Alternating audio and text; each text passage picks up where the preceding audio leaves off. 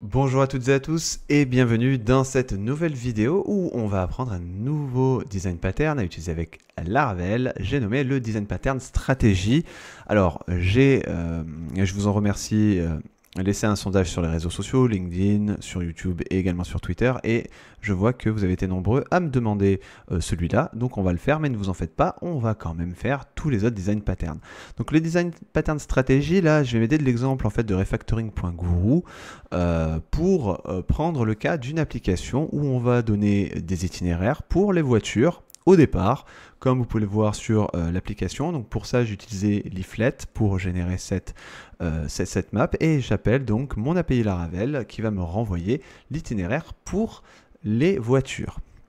Sauf que comme on nous le précise ici, le problème c'est que ça devient un peu brouillon parce qu'on nous a demandé ici de faire également la même logique, mais cette fois-ci pour la marche et également pour les bus. Et à chaque fois qu'on va avoir à rajouter du code, que ce soit prochainement pour les trains, les vélos, etc., eh bien, ça va complexifier évidemment notre, euh, notre application et ça devient très très difficile au niveau de la maintenabilité. Donc c'est là qu'on va faire intervenir le design pattern stratégie parce qu'on a ici une euh, stratégie du coup qui est interchangeable. Donc à chaque fois c'est un petit peu le même contexte mais c'est pas la même chose qu'on veut faire. Ici c'est le bus, ici c'est la marche et demain on en aura d'autres. Au niveau de, euh, je vais vous montrer directement le front. J'ai ici donc mon leaflet.js. Qu'est-ce que j'y fais? Donc ça me permet ici de vous montrer la map et euh, à chaque fois que je clique sur un bouton, je vais, je vais lui envoyer donc un paramètre qui est nullable sur cette route API ici, d'accord? Et euh, je vais récupérer euh, les données de l'itinéraire sélectionné et je vais tracer un polyline, voilà, comme vous pouvez le voir, en mettant des coordonnées et des couleurs, mais je pourrais rajouter plein d'autres choses. C'est un peu pour simuler cet exemple.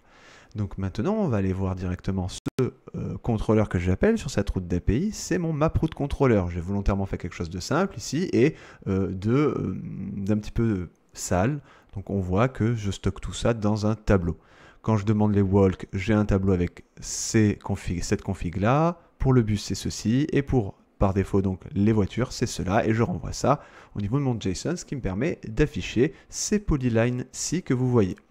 Donc on est en présence eh bien, euh, d'un contexte qui est le même, mais par contre d'une stratégie qui est différente. potentiellement, de nouvelles stratégies viendront s'ajouter. Comment est-ce qu'on va faire ça? Eh bien, je vous le montre de suite. On va commencer, comme à l'accoutumée, par se faire dans le dossier app un dossier contract ici. Et on va euh, se créer une interface. Donc on part toujours ici d'une interface. On va l'appeler euh, route stratégie contract. Donc attention, ce sera une interface et elle va nous renvoyer puisque ça c'est l'objectif, qu'est-ce qu'on attend de chacune de nos stratégies, c'est de nous renvoyer cette config pour l'itinéraire en cours, c'est-à-dire un tableau. Donc on va ici faire quelque chose de simple, une public function get route, et on va l'appeler ici, tout simplement, on va lui dire de retourner un arrêt. Voilà. Donc pour l'instant, on est bon.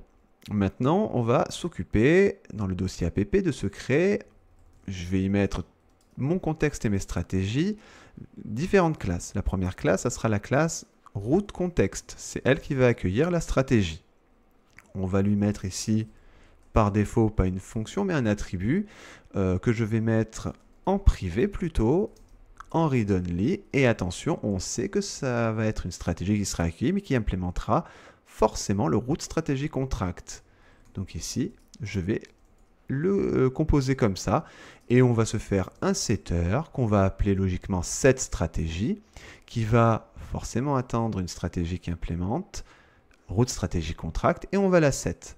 Ensuite, on va avoir une public function getRoute qui euh, assez simplement va nous renvoyer un arrêt parce qu'on va aller derrière retourner depuis notre stratégie la route. Et on sait que getRoute on l'a puisqu'on implémente cette interface.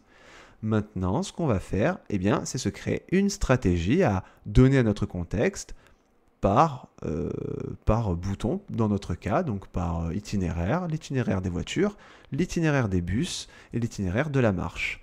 Donc on est parti, on va se faire une classe qu'on va appeler, on va commencer par le premier, c'était car route stratégie. On sait qu'on est obligé d'implémenter notre route stratégie contract.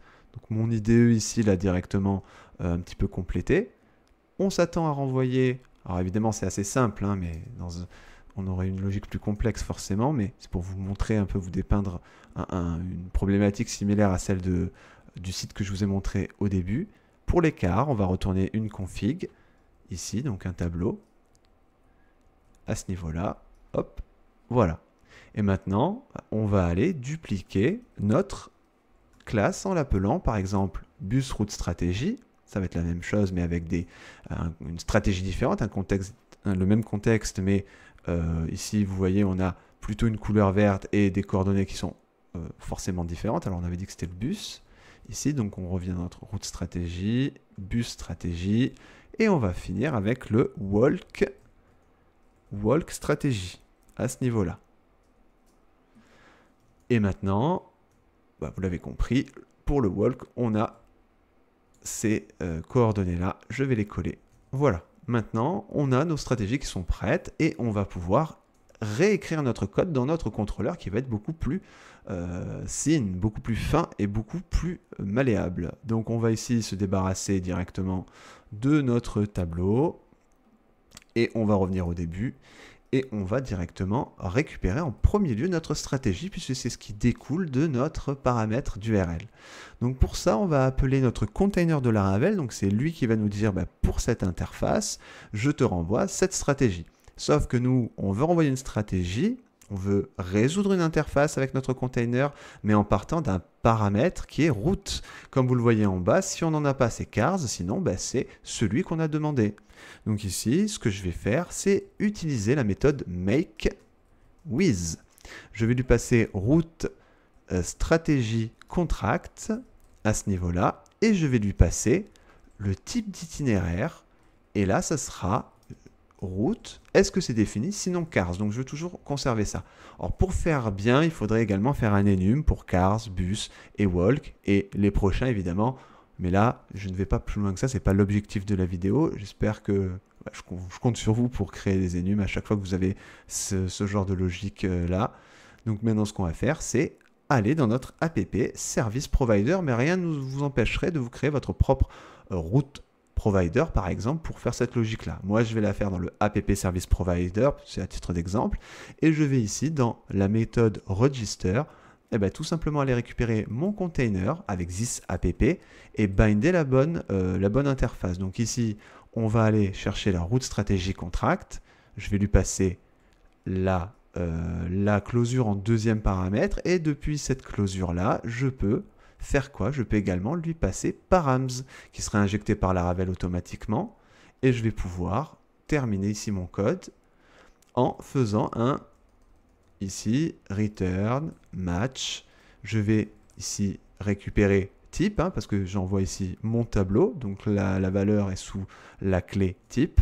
Et à ce niveau là je vais pouvoir on n'oublie pas le point virgule ici lui préciser, alors si c'était cars, qu'est-ce que tu fais? Bah, Tu renvoies une nouvelle instance de car route stratégie. Si c'est bus, tu renvoies ici une nouvelle instance de bus route stratégie. Et évidemment, vous l'avez compris, si c'est walk, et c'est là qu'on aurait dû utiliser les enums par exemple, hein, ici, vous utilisez le walk route stratégie. Voilà à ce niveau-là. Donc forcément, pour l'instant, j'ai encore rien fait. Hein. Si je réactualise, on voit que la map ne fonctionne plus.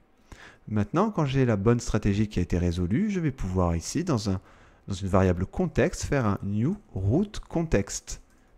Et je vais directement, c'était ma stratégie dans mon contexte. Et enfin, vous l'avez compris, on va pouvoir finir en faisant un get route depuis notre contexte et ça sera la réponse qu'on enverra côté front. Maintenant, je réactualise et ça fonctionne. Par défaut, on a cars parce que j'en ai encore sélectionné aucun. Si je clique sur walk, on a bien notre itinéraire. Et pour bus, la même chose. Si je réactualise, on revient sur cars. Donc voilà, si ici j'ai envie de rajouter tout simplement une nouvelle stratégie, eh bien on respecte absolument le principe d'Open Close Principle. On ne va pas modifier ce qu'on vient d'écrire, on va juste étendre notre code, on va créer une nouvelle stratégie, rajouter une nouvelle classe. C'est tout ce qu'on va faire. On va faire une bike route stratégie ou une train route stratégie. Et ensuite, pour vérifier quand même que ça fonctionne, tout s'accordera bien. Si ici je mets purple, mais il y a peu de risques que ça ne fonctionne pas, je vais dans bus et je vois ici que ça a changé. Donc voilà, on n'oublie pas le même contexte mais des stratégies interchangeables, stratégie pattern. je vous remercie pour votre fidélité et je vous donne rendez-vous pour le prochain design pattern.